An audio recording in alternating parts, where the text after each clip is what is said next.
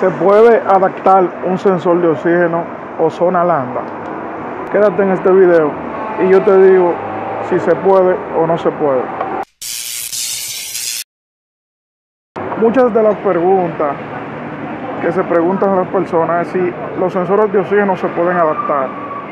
Y yo te digo, claro que sí. Todo va a depender. Todo va a depender. Por ejemplo, si tú tienes un sensor de oxígeno de cuatro cables, tú le puedes poner un sensor de oxígeno de cuatro cables, puede ser de Toyota, de, de Honda, de cualquier tipo de vehículo, siempre y cuando tenga cuatro cables y el sensor de oxígeno tenga el mismo ohmiaje. Si el sensor de oxígeno no tiene el mismo ohmiaje que lleva el vehículo, entonces la computadora no lo va a reconocer y no lo va, lo va a tirar como error, la computadora no lo reconoce. Entonces, sí se puede adaptar un sensor de oxígeno siempre y cuando tú busques las especificaciones del fabricante y cuánto ohmiaje tiene que tener el sensor de oxígeno. ¿Cómo tú mides el ohmiaje de un sensor de oxígeno? Bueno, el ohmiaje se mide con un voltímetro. Con un voltímetro tú vas a buscar los dos alambres, siempre mayormente trayendo alambres parecidos, del mismo lado igual y tú vas a medir el ohmiaje. Un por ejemplo, eh, mayormente este tipo de vehículos Honda tienen un ohmiaje entre 10 y 40.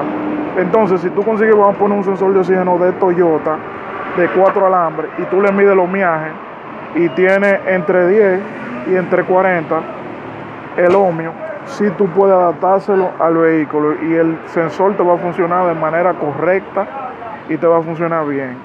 Lo cual es que sí se puede. Ahora, lo que no se puede es que sea de cuatro cables el tuyo sea de un cable o de dos cables, no se puede adaptar. Pero siempre y cuando el sensor de oxígeno tenga el mismo viaje que lleva el vehículo, sí se puede adaptar. Mayormente las especificaciones del sensor de oxígeno tú la buscas en cualquier página eh, automotriz. Tú escribes qué viaje lleva el Honda Civic 2000 o cómo probar el sensor de, oxígeno del Honda Civic 2000. Hay páginas que te presentan eh, qué ohmiaje tienen que darte esos tipos de sensores.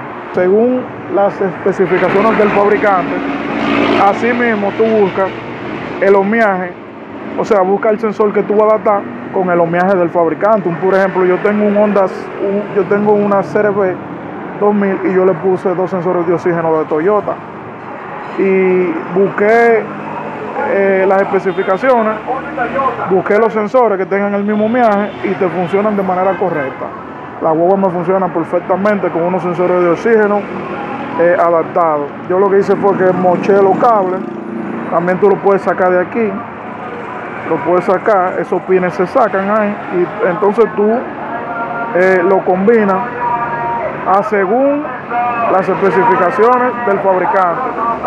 O sea, que si tú vas a adaptar un sensor de oxígeno, ¿no verdad? Y tú no, tú no sabes la posición que van a quedar los cables, tú tienes que buscar el diagrama del vehículo para tú poder colocarlo en la misma posición. Porque si, por ejemplo, tú mides los miajes del cable y es igual que el fabricante, tú tienes que ponerlo en un orden en el vehículo.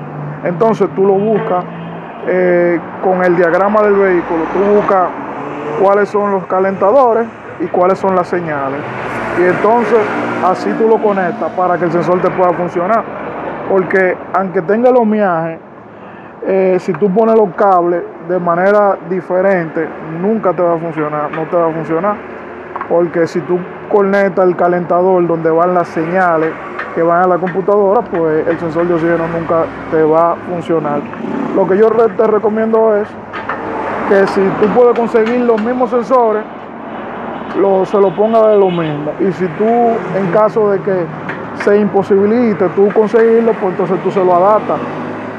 Siempre y cuando tú mides los viajes y te dé el mismo viaje que lleva el sensor de oxígeno original del fabricante. Esto fue todo. Suscríbete a mi canal y dale like y activa la campanita de notificaciones.